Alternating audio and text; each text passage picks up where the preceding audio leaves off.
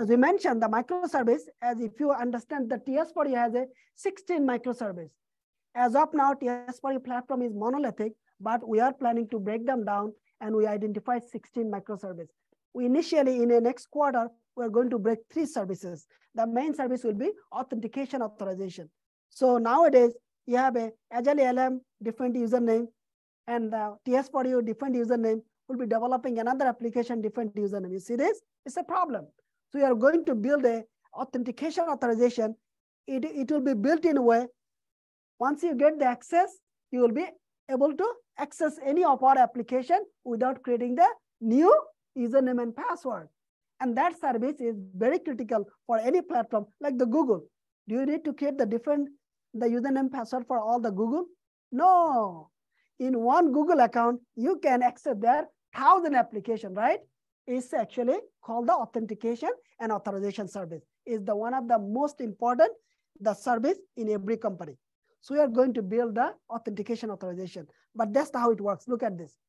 The each of the service, as I said, database is different. So say an example, enrollment, user, the payment, and the, the chat, notification, like this 16 other services. Some will be for the portal, some will be for the admin, some will be for the backend. Mix and match 16 services. And you see each of the services has their own database. And when you call the services, remember now, it is not the UI anymore. It is actually, we are all talking about the backend API. Remember, write this down. Whenever you call the microservice-based platform, it's actually you're building all the backend logic, means the API, right? End of the day. So those API actually consumed by the client. So this, if this API need to be accessed by this API, this service, this service, this service, this service, there is something we have to do. But the service means whenever you call the app, means it has an API and it has the interface. Whenever you hear the service, it means it, it doesn't have the UI. It has the only the logic, means the backend, either message broker or the API. So now if you look at this picture, right? Look at this picture. This service all are separated, but they're, they're talking to each other how? API gateway. See that? So their service is talking to each other through the API gateway. That's how the microservice work because they're all separated. One service can be Germany, another service can be Japan, another service can be India, another service can be anywhere else. But they all communicate through the API gateway. As I said, service is developed, they are actually producing all the business logic, it means the API. So now there is API gateway. There is another layer also involved. This part is important. You guys are learning now. Another layer is important. Well, API is good. It's okay. I want to go API layer. But there is another important layer. It's called the message broker. Or it's called the message queue. What it means, API-based communication is all the RESTful API. All RESTful API. But we can actually put another layer here. It's called the message queue. That's another application called the Kafka. And then uh, the RabbitMQ, like this message broker, what they do, they actually allow these services to communicate with one another. What they do? They allow to communicate with one another. What is the purpose? Look, if this service is communicating with one another, right, continuously, don't you think they're already stressed? Because they're stressed, because they're they both are using their resources, right? You see this? If if you are requesting it both communicating together all day, so they have one type of what? Resource is already consuming throughout the day. How about you just put something here? You just set something here. If you want to communicate here, you just communicate with me and I will tell him, okay, you have a message. If you want to communicate with him, you just tell me, I want to send your message to here. So you are sending me, you are sending me an email, right? Or the post, the mail, you go to where? Post office and post office sending me.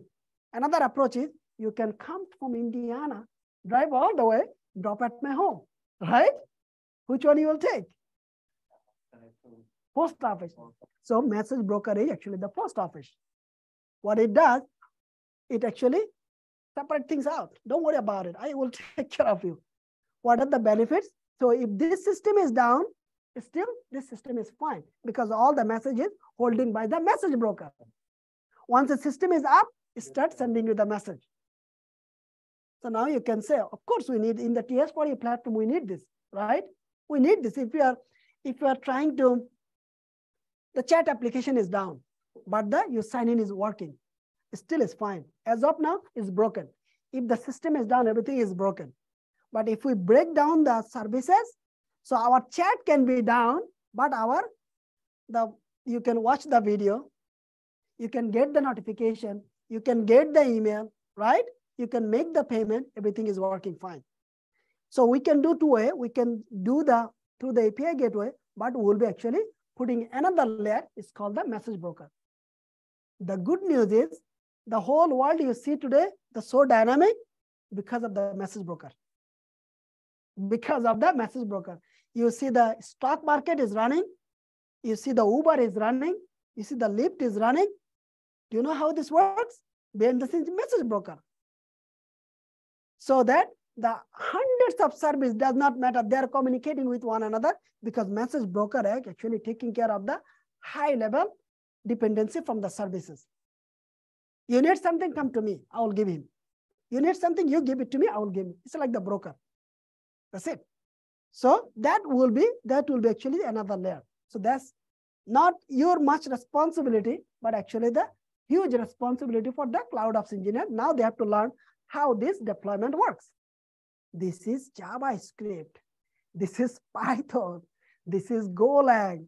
This is Java. This is PHP. So they need to learn each of the stack, how to deploy. Good? That's it they have to do. And now they have to know, okay, I know the API. Now they have to know how this actually the message broker things work. Now they need to work with the developer.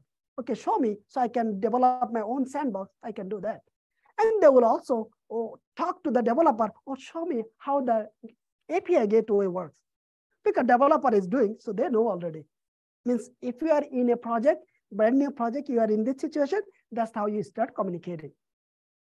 But the, the microservice-based application, the client always hit the API gateway. And then each of the services is connected with the API gateway. And when you do the consuming the API, we already showed last week, you are not exposing your business logic. You are not exposing your code. You are exposing only two words, slash sign in, slash payment. You are not showing, you are never show the actual code base. Make sense? So microservice never show the code base, it show the only the route. It's called the route. Make sense? Of course, monolithic does the same way. You are we are we are the we are the here monolithic, but we have all the separation of the backend is different, front end is different through the API. That is fine. That is nothing changing the game here. But microservice base is everything is separated, pure microservice. They communicate through the API gateway. But if they want to communicate, they need to communicate. If they not they don't want to, they need to communicate, and that the layer is message broker.